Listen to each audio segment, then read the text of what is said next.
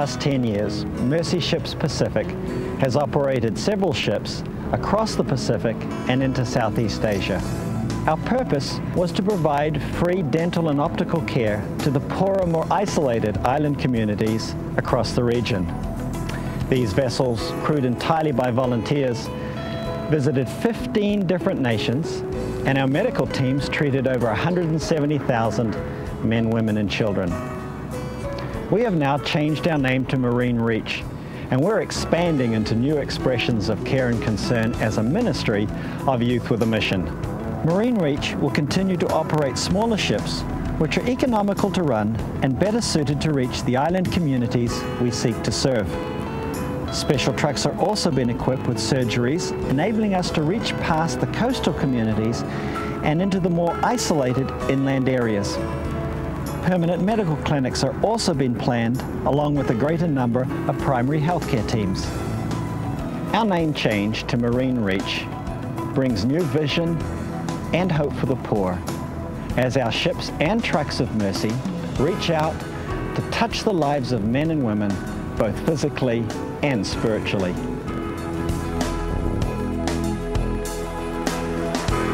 Look around you.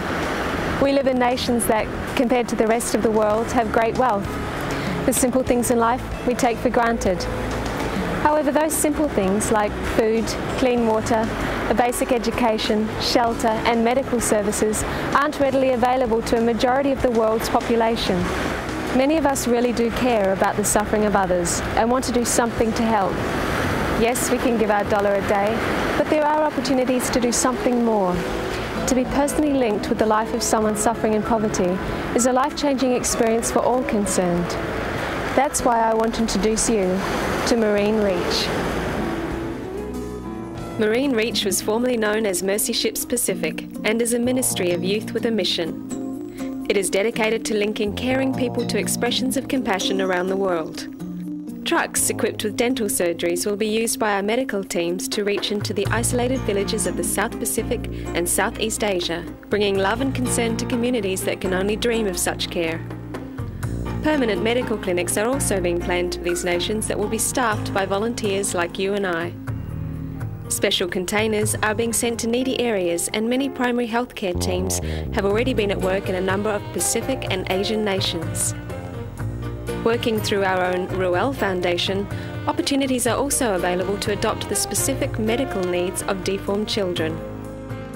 Marine Reach will continue to network across the Pacific and Southeast Asia using ships to carry medical teams to the poorer, more isolated island communities.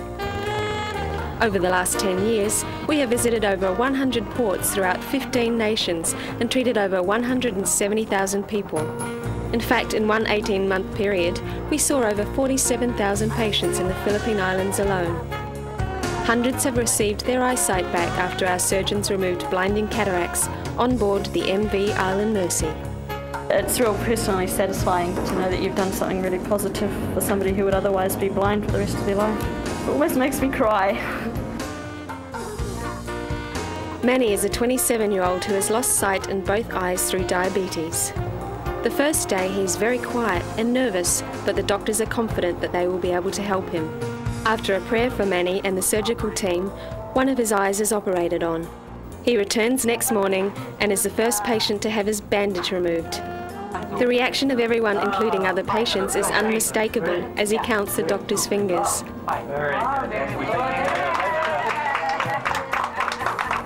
Manny returns the next day and his other eye is operated on. This time his face reveals a lot more emotion as the reality of receiving his sight back dawns on him. I feel happy now because with both eyes I can see now and then I, I thank God for this successful operation. To watch him walk down the gangway unaided, full of confidence and independence, is a stirring sight for all the crew of the Island Mercy. Other people have similar stories. Gloria is 37, a solo mother of three who has been blind since she was 20 and is wholly dependent on her brother for everyday life. After her operations on both eyes, she explained that she was very happy to be able to see again. She is thankful to God and the people who helped her and that she would now be able to work and help raise her three children.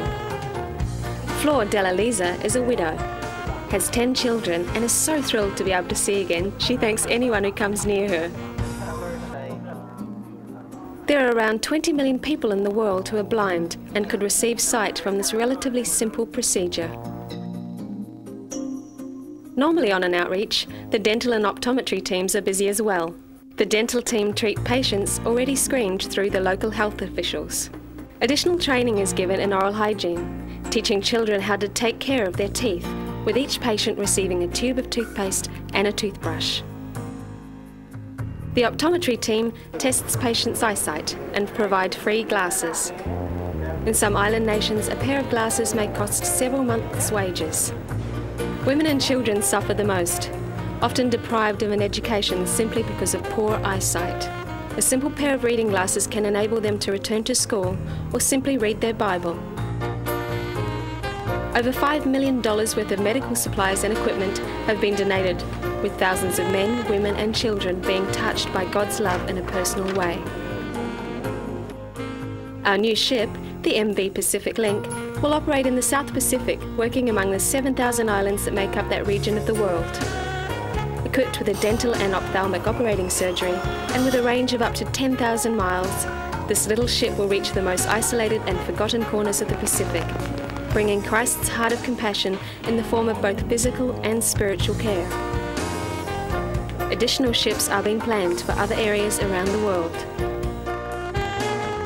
Training is an important part of the program, with over 600 young men and women having been trained for Christian service in our discipleship training schools over the last 10 years.